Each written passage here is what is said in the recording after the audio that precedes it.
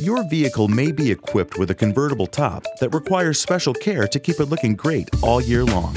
Let me explain. First, keep in mind that convertible top fabric does not promote mildew growth itself. Mildew may develop on dirt or other foreign substances if not removed. So keeping the fabric clean through regular washings will enhance the life and beauty of the top material.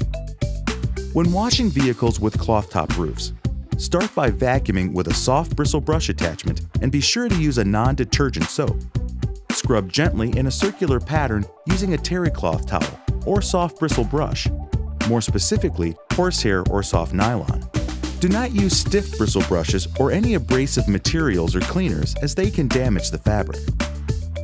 When finished, rinse thoroughly removing all soap residues.